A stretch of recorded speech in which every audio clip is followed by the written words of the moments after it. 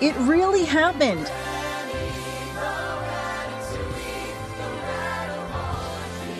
The Ratatouille musical, created by TikTok users, came to life on the virtual stage, raising more than a million dollars for the Actors Fund.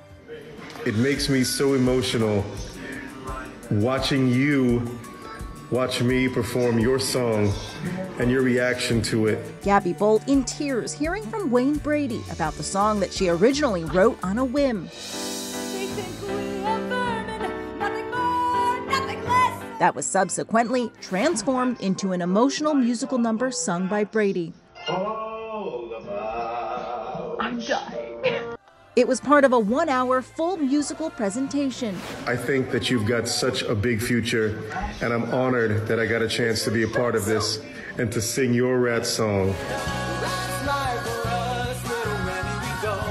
Adam Lambert, Emily in Paris star Ashley Park, Excellence. and Dear Evan Hansen's Andrew Barth Feldman were all part of the show.